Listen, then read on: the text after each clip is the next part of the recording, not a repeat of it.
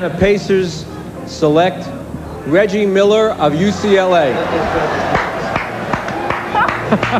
well, we'll call that timely.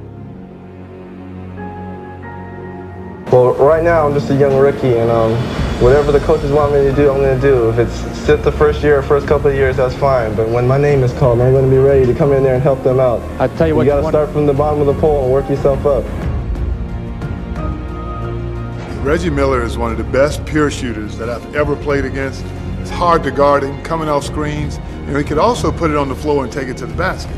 Uh, that's what they don't talk about a lot. I mean, when you talk about his kind of game and how he played, there were only one or two other guys, you know, in the same circle. He loved the big moments. He loved the big games. He loved the playoffs uh, or the big marquee matchups against his arch rival, whether it was Michael Jordan or somebody of the Knicks.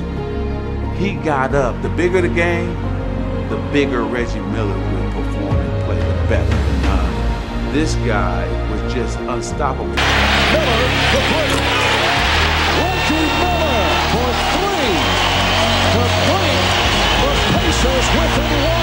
Reggie was so clutch, you know, that's he wanted the ball in his hands. He was a high percentage shooter with the game on the line. Miller, a three! Bang! Miller for three! Reggie ah! Miller buries it.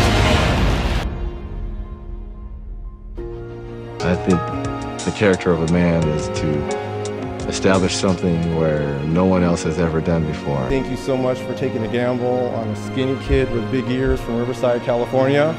And to the other guard, number 31, Reggie Miller! Miller inside with the slam.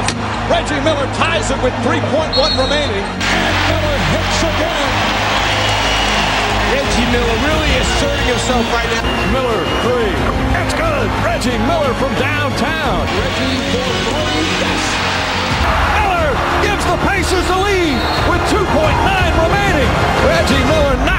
down, and this place is absolutely stunned. Miller for three. Oh, he backed it in. He backed it in, and the game is tied. We're going to overtime. McKey gets it into Miller for the win. It's you can dance, Reggie. One of the greatest clutch playoff performers of his generation has apparently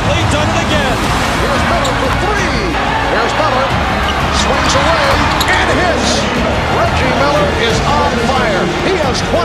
The record for both teams in the playoff game. Miller for three, and he got it. Reggie Miller with a clutch trey, and it's 105-102. And a steal. Miller retreats to the three-point line and hits again. They call Reggie Miller the Knick Killer. This is for you, Indiana. We're coming back. Yeah.